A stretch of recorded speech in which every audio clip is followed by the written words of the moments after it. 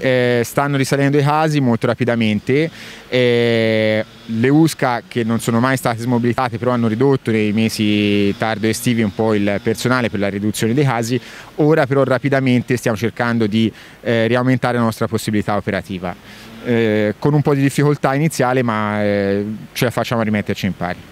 Ci sono casi un pochino più estremi oppure visto che la popolazione è più vaccinata riuscite insomma a tenere più tutto sotto controllo? Allora, quello che stiamo notando è che non stiamo raggiungendo la gravità dei sintomi dell'anno scorso e eh, anche persone anziane positive riescono a negativizzarsi eh, molto prima rispetto al passato.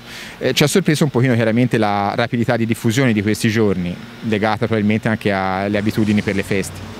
Quindi che cosa si può dire alla popolazione che ovviamente, soprattutto a coloro che insomma, hanno contratto il virus, magari c'è qualche tempo di attesa in più?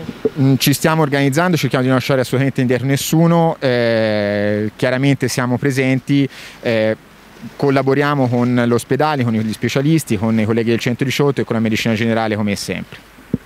Avevamo fatto questa intervista più o meno un anno fa, ci risiamo, passerete un Natale particolare, siete abituati, siete medici, però insomma eh, questo è da dire insomma. Eh, sì, sì eh, l'anno scorso sinceramente non sapevamo cosa, cosa sarebbe successo, quest'anno speriamo di avere imparato diciamo, la, la, dalla capacità che abbiamo avuto l'anno scorso di reagire a reagire altrettanto bene le feste, le feste possono aspettare per noi per il momento.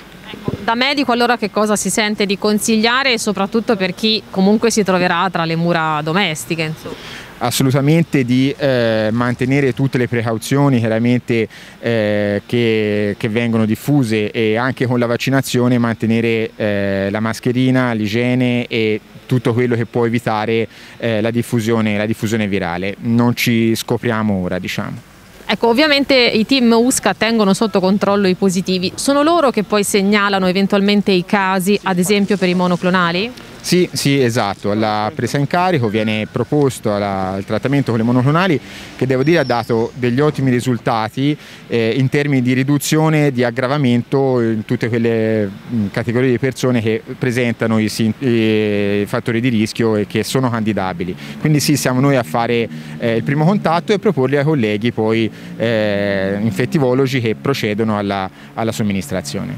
Bisogna agire però nei primissimi giorni dall'insorgenza dei sintomi sintomi o comunque dal riscontro della positività? Sì, abbiamo un lasso di tempo di 5 giorni entro cui poter eh, agire, dopodiché eh, diciamo, mh, non è dimostrata poi una, eh, un reale vantaggio nella somministrazione eh, delle monoclonali, però in questi primi giorni è fondamentale spiegare di cosa si tratta e eventualmente indirizzare.